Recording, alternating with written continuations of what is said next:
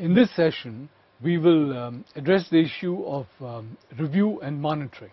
We are looking at uh, review and monitoring in a more generic sense and not specifically with regard to strategy implementation. However, the um, aspects that are covered during this session can be applied to strategy uh, review too. Our um, learning objectives in this session would be to um, understand uh, the issue of defining control, understand performance standards, understand how performance is to be monitored and uh, how performance is to be improved. Now, these are being looked at in a generic sense, right? Not specifically with regard to strategy review. However, uh, the uh, issues that we handle in this uh, session can be applied to strategy review. Let's look at uh, the issue of control, right? Now, we need to understand that uh, there are several different kinds of control. These different kinds of control apply across the board to different kinds of activities. It does not really matter what is the nature of the activity. The kind of control could, these kinds of control would apply to different activities at different points in time. For instance, look at budgetary control. Now, what, what is uh, the essence of budgetary control?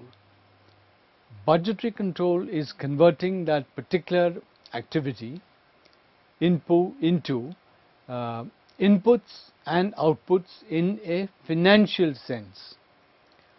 So, budgetary control is converting the activity into financial terms. Another type of control is stock control. Now, stock control is easily understood when it comes to uh, the issue of physical stocks. Stock control, when it comes to physical stocks, is what we understand as inventory control. However, stock control is a concept which is applicable not only to physical stocks, it's also applicable to human stock. Um, let's say a company which uh, is keeping track of uh, a number of uh, people seeking employment in a particular area, right? Now that company keeps track of a number of people and keeps them on the bench as it were. Now, keeping people on the bench is an activity to which you can apply the concept of stock control. Just as you apply stock control to physical goods and use inventory control mechanisms, in quite the same way, stock control as a concept can be used to control the uh, availability and control the release of human material. Then we have uh, operations control. Now, operations control is typically understood in a manufacturing uh, context. However, this is a type of control which can be applied across the board regardless of the nature of the operation. For historical reasons, operations control is understood in the manufacturing context. But operation control is not restricted to the manufacturing context. It could be applied in any kind of operation. And then we have quality control. This is the control of quality of the output. Here again, regardless of the particular activity where quality control is being applied, the principles of quality control would remain the same. Its application would vary depending on the nature of the activity. So, what we need to appreciate in when we talk about control is that there are four broadly different kinds of control. Right. Now, um, let's look at uh, the issue of uh, performance standards. Okay, it's easy to understand performance standards as the E factors of performance. The E factors of performance, to begin with, is effectiveness. Performance in any area, performance across the board, one important criterion is effectiveness. Now what does effectiveness mean? Effectiveness means to what extent is the objective of the function being met. Right? So effectiveness is all about meeting the objective. The second uh, factor of performance is economy. Economy is a question of how resources are used. Resources relate to uh, time, relate to cost, relate to the use of uh, manpower, the use of scarce materials. So resources are of various kinds and the concept of economy applies to each kind of resource. Efficiency. Efficiency is the third E factor of performance. As we saw in one of the earlier sessions, efficiency is a combination of effectiveness and economy. Performance must give effectiveness.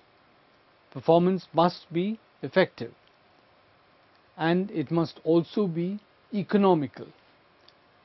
So when you combine eff effectiveness and uh, economy, you get efficiency because efficiency is a question of output by input, right? Now, output by input, output goes up when effectiveness goes up, input goes down when economy goes up and therefore efficiency goes up. Then there is a question of elegance, right? Elegance is a very important uh, factor. It's a very important factor of performance because uh, the same thing can be done in a crude manner or it can be done in an elegant manner. And everybody appreciates elegance, right? It's, it's a common human trait to appreciate elegance. So, anything which can be done elegantly should be done elegantly. And uh, the fifth factor of performance, the fifth E of performance is ethicality. This is a relatively recent entrance to um, performance standards. Of course, um, it is true that uh, several uh, performance indicators change historically, but um, the issue of ethicality has assumed much greater importance in recent times. Uh, we um, looked at, uh, uh, we mentioned in one of the earlier sessions the case of uh, how Union Carbide, the accident at Union Carbide in Bhopal, the inefficiency displayed by Union Carbide at Bhopal resulted in its shares in the United States dropping by 30 percent, right. This was really an issue of ethicality, not an issue of money. The shareholders in the US felt that the company's behavior at Bhopal was not ethical. So ethicality is a very important aspect of performance. One way of uh, studying performance is the method study. Right? Now, method study is a generic term. It indicates a particular way in which uh, the issue can be approached it uh, method study involves a uh, systematic recording and critical examination of ways of doing work to find more effective ways. This is the crux of method study. Let's look at the various steps involved in uh, method study. The first step is to put down the terms of reference. This is a very critical step because the terms of reference put down what is the objective of that study right so every method study must have a very clear objective are we talking of uh, improving parameter 1 or are we talking of improving parameters 1 2 and 3 right now this must be very clear therefore step 1 terms of reference is critical Step 2 is investigate. Investigate the existing method, right? Investigate it thoroughly in all aspects. Step 3 is to record it. This is very important because uh, very often this, the investigation which is done by one set of persons unless it is adequately recorded unless it is completely recorded, that investigation is not really available to others. In order that the investigation can be made available to others in its complete form, it's important that it should be recorded fully. Then there's a question of analyzing the information. You develop an alternative and install that uh, alternative right. So, this is the broad approach which method study adopts.